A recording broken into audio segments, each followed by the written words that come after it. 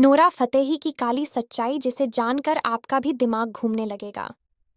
Nora को कैसे मिली बॉलीवुड में एंट्री? नोरा ने कितने लड़कों के साथ बिस्तर गर्म किया है?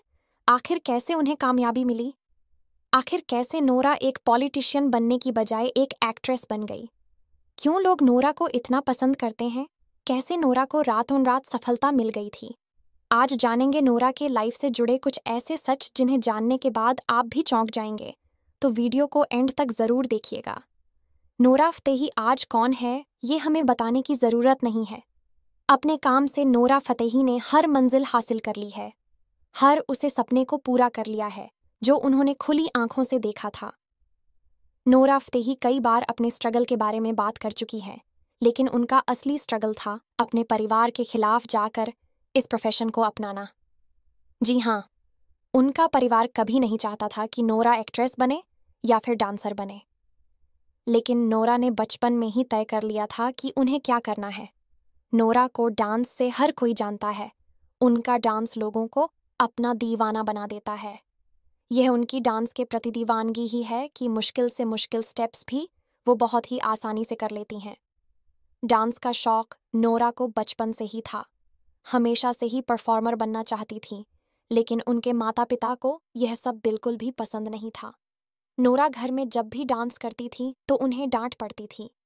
लिहाजा उन्हें छिप छिप कर डांस करना पड़ता था। उनकी माँ को इस बारे में पता चल जाता था तो वह उनकी पिटाई कर देती थी। लेकिन डांस के पीछे की दीवानगी नोरा ने कभी भी नहीं छोड़ी। नोरा का परिवार कभी भी नहीं चाहता था कि वह ग्लैमरस इंडस्ट्री में कदम रखें और एक्ट्रेस बने। लेकिन नोरा ने जिद की और केवल पाँच हज़ार लेकर भारत चली आई। तब उन्हें लगा था कि यहाँ आते ही उनके लिए इंडस्ट्री के दरवाजे खोल दिए जाएँगे।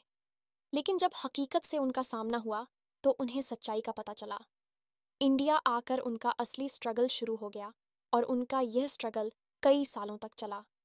बता दें कि नोरा फतेही को अपने कैरियर के शुरुआती दौर में रियलिटी शो में भी देखा गया था।